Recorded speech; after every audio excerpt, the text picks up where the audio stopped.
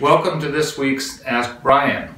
I've been recently getting a lot of emails about water, specifically about the Hirst decision, a recent Supreme Court decision in Washington state involving rural exempt wells. And uh, the, uh, the court decision is problematic uh, and I'm very concerned. Uh, we have several bills that have been introduced. We have uh, two House bills, the Springer bill and the Stanford bill.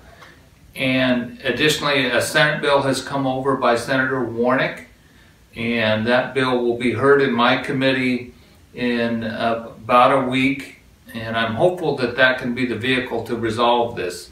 Specifically, the problem is the court ruled that, that uh, even a single molecule impairment of senior water rights. And senior water rights um, uh, are most often characterized as in-stream flows, rules that have been adopted by ecology that uh, set a minimum flow level in our streams and rivers.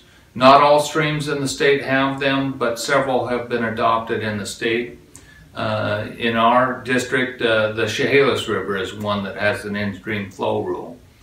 And so the ruling, uh, it appears, would say that if uh, uh, a county would have to determine if water is legally available for a property owner to uh, have access to a new well on their property.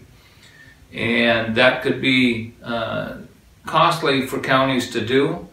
They uh, don't always have the expertise to, to determine if water is legally available.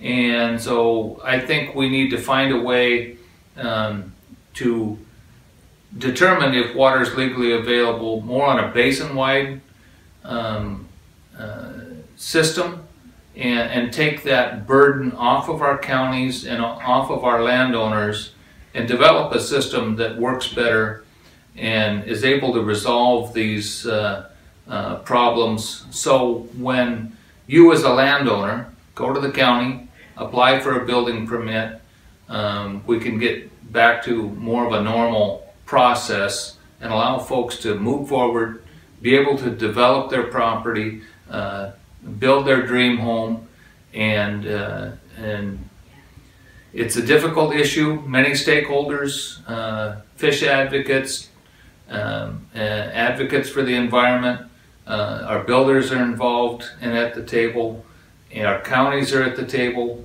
and I'm hopeful that we can come to a resolution of this issue. So thank you for tuning in to this week's Ask Brian.